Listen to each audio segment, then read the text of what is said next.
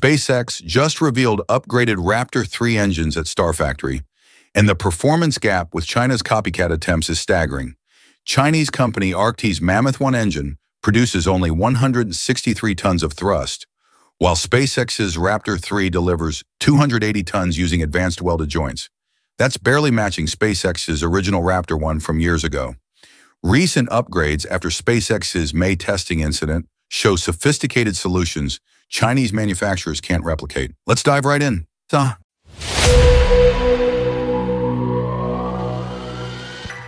To understand why Chinese copycats are falling so far behind, we need to examine what happened at SpaceX's McGregor facility in May. That testing incident wasn't an accident. It was a deliberate stress test that revealed exactly what SpaceX needed to fix. During this test, engineers pushed Raptor 3 toward 300 tons of thrust, far beyond normal operating parameters. The engine exploded, but this failure provided crucial data about structural limits in combustion dynamics. SpaceX was specifically testing the methane to oxygen mixture ratio, a process requiring millisecond precision where even tiny errors trigger what Elon Musk calls a hard start. What separates SpaceX from copycat manufacturers is their response to failure. Instead of viewing the explosion as a setback, they analyzed the failure data and implemented three critical upgrades. These improvements reveal sophisticated engineering solutions that Chinese manufacturers cannot replicate simply by copying external appearances. The upgrades visible on Raptor 3S and 20 demonstrate why surface-level copying fails to achieve real performance gains. The gray collar innovation. The most noticeable addition is a gray protective collar around the Methalox feed line joint. This component serves as a vibration dampening system designed to withstand forces from 280 tons of thrust.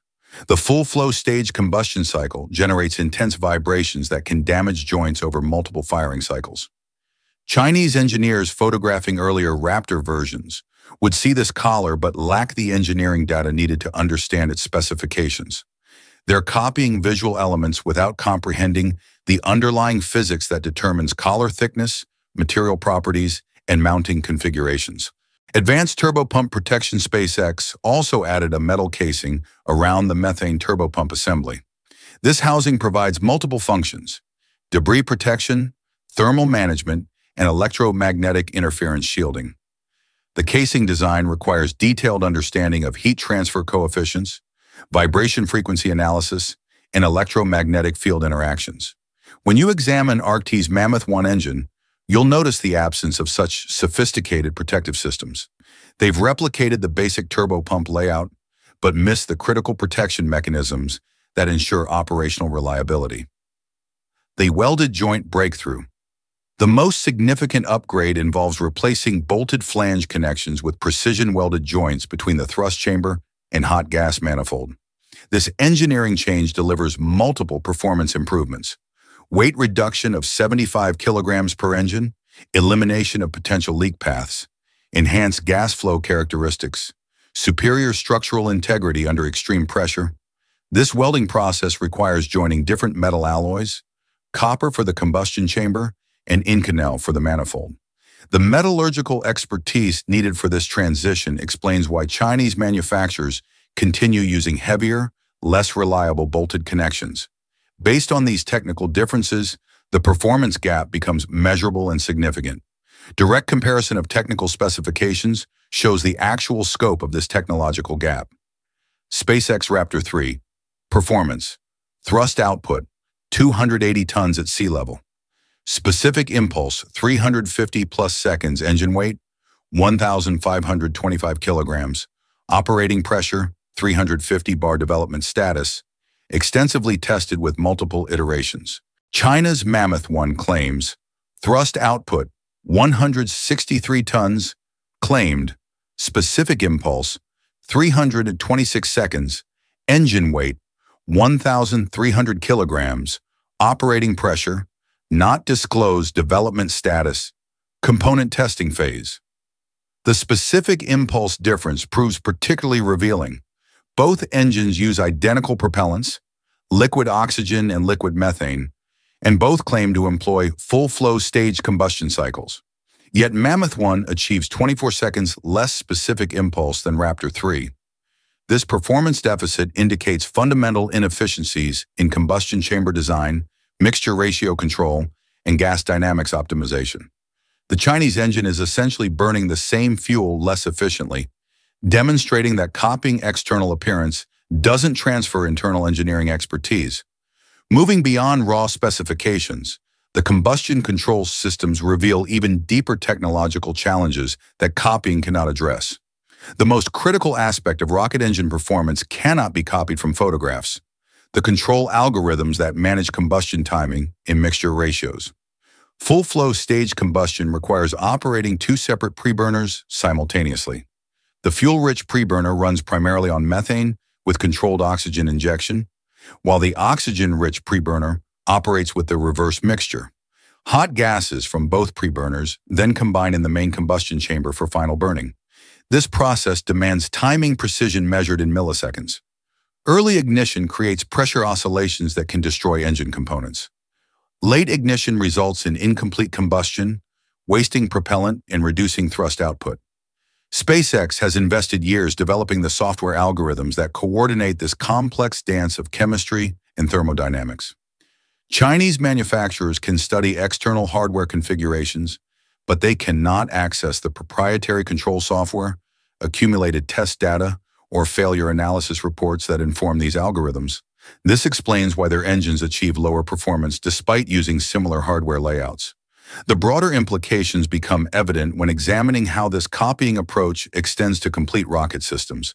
RT's rocket design demonstrates how copying isolated components without understanding integrated systems leads to suboptimal performance.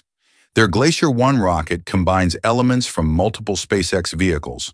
The first stage directly replicates Falcon 9's configuration with four grid fins and retractable landing legs for drone ship recovery. The structure uses stainless steel construction borrowed from Starship's design philosophy. Between stages, they've added a hot staging ring copied from Starship's integrated hot staging system. However, each of these innovations was developed to solve specific problems within SpaceX's overall architecture. Hot staging works on Starship because of carefully calculated thrust-to-weight ratios, structural load distribution, and flight control algorithms.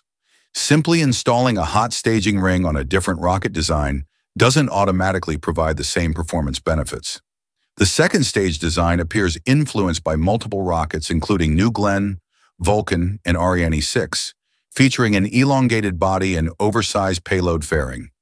While this configuration may handle large satellites effectively, it represents a compilation of other companies' solutions rather than integrated engineering. This component-level copying approach reveals fundamental limitations in understanding how rocket systems work as unified platforms. The economic implications of this approach become clear when examining projected costs. ARCT projects Glacier 1 will launch payloads at $1,400 per kilogram, positioning their rocket as competitive with current Falcon 9, pricing of approximately $4,200 per kilogram in reusable configuration. However, this comparison misses the broader competitive landscape that Starship will create. SpaceX's target for Starship operations is under $10 million per flight, while carrying over 100 tons to orbit. This translates to approximately $100 per kilogram, a cost structure that would make Glacier one economically irrelevant before achieving operational status. The technical limitations we've examined suggest achieving even their claimed costs may prove difficult. Mammoth 1 produces 42% less thrust than Raptor 3, operates with lower efficiency, and requires more complex manufacturing processes due to bolted flange connections. These factors typically increase rather than decrease production costs. Furthermore, the timing of Chinese announcements reveals reactive rather than proactive development strategies, which has important implications for their competitive position. The sequence of announcements reveals how Chinese companies respond to SpaceX achievements rather than leading independent development. August 2024, SpaceX publicly displays three Raptor generations at Star Factory. August 21st, 2024. ARCT announces $1.4 million funding for Mammoth 1 development September 2024. Chinese media releases specific performance claims for Mammoth 1. This reactive pattern indicates Chinese companies are responding to SpaceX's public demonstrations by announcing competing technologies. However, typical rocket engine development requires three to five years from initial design to operational status. Announcing competing technologies within weeks of a competitor's revelation suggests copying existing designs rather than independent innovation. While Chinese efforts focus on replicating past achievements, European companies are demonstrating more sophisticated approaches to rocket engine development.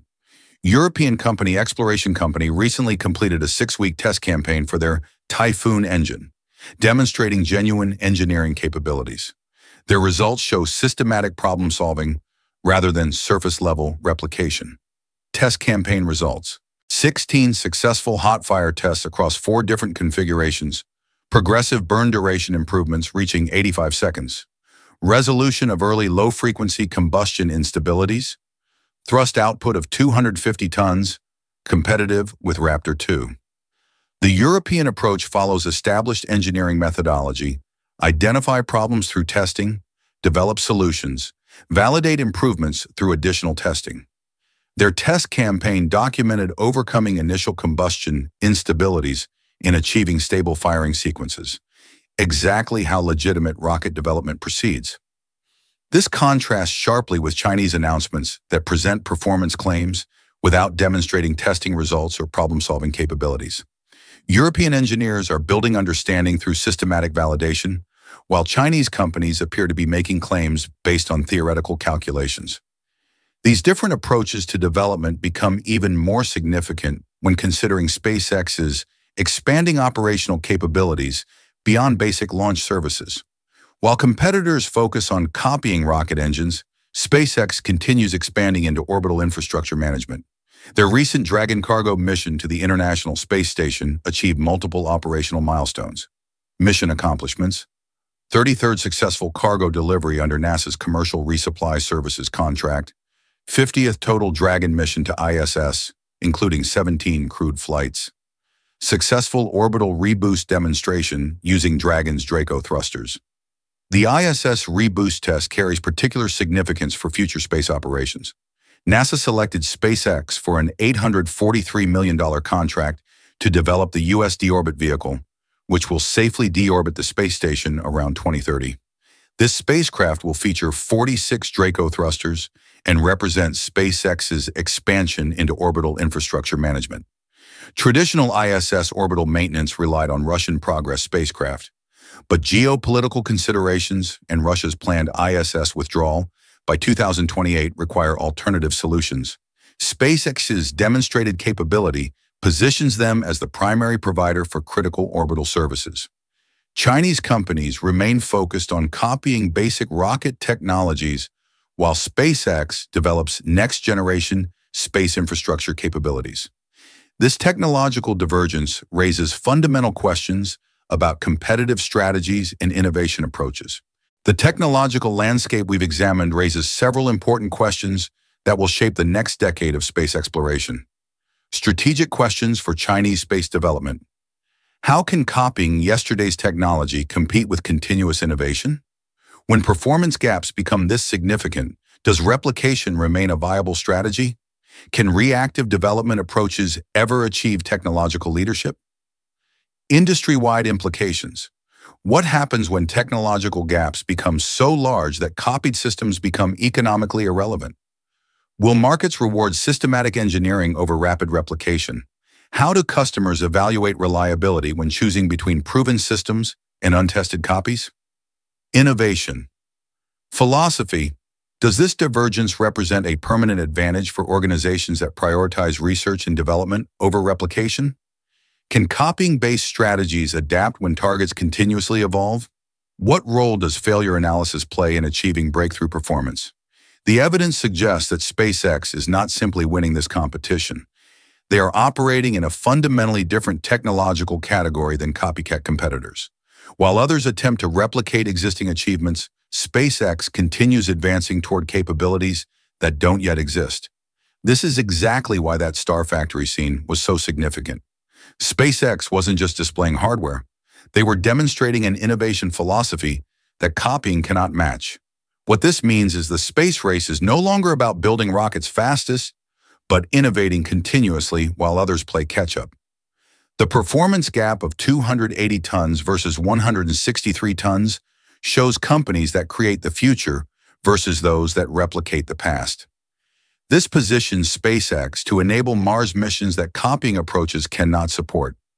Genuine innovation beats reverse engineering every time, and this is just the beginning. While competitors struggle to match today's Raptor 3, SpaceX is developing Starship Block 3. How do you think this innovation gap will shape space cooperation? Share your thoughts below. If this was valuable, hit like and subscribe to Space Hub for more breakthrough coverage. Ring the bell. The next chapter of human spaceflight is being written by those bold enough to invent what comes next.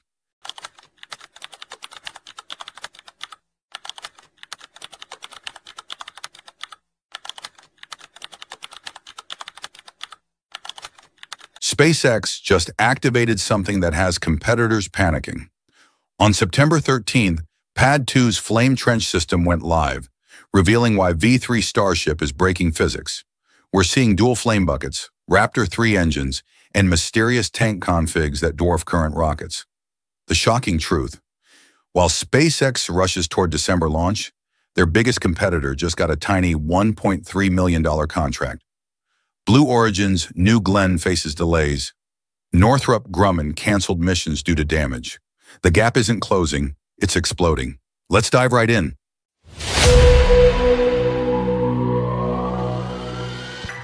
What happened on September 13th wasn't just another SpaceX test. It was the moment the space industry realized how far behind they really are. When that controlled stream of water shot upward from Pad 2's flame trench, Engineers worldwide knew they were witnessing something unprecedented. The initial reaction was confusion. The water flow seemed weaker than expected, leading some observers to question whether the system was working properly. But industry insiders quickly understood the truth. This wasn't a bug. It was a feature that revealed SpaceX's revolutionary approach to launch infrastructure. Unlike Pad 1's dramatic steel plate system that creates those spectacular water explosions we've all seen, Pad 2 operates on completely different physics. The dual bucket design doesn't just handle the massive forces generated by Starship's engines, it distributes and redirects them with surgical precision. We're talking about a system